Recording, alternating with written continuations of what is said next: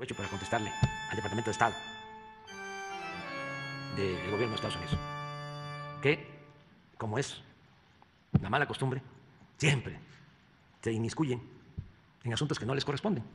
Todavía no abandonan la política de hace dos siglos, la política de Monroe, de sentirse el gobierno del mundo. ¿Qué le digo, con todo respeto, al señor Blinken del Departamento de Estado? Que hay más democracia actualmente en México que en Estados Unidos.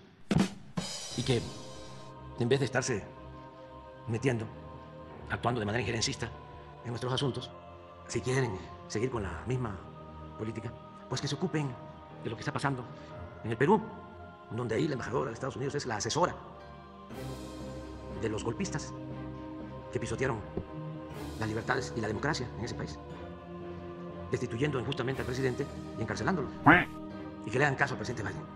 Pero esto no es nada más el Departamento de Estado, es la naturaleza, o cuando menos la costumbre que viene de siglos en el gobierno de Estados Unidos y en las élites de Estados Unidos.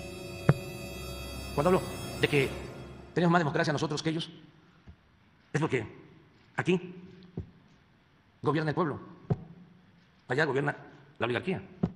Nada más. Ayer, por ejemplo, el periódico posiblemente más influyente en términos económicos y financieros en el mundo, el Wall Street Journal, ocho columnas y fotografía para la marcha de los corruptos, porque ese periódico y otros en Estados Unidos protegen a las mafias de poder económico en el mundo.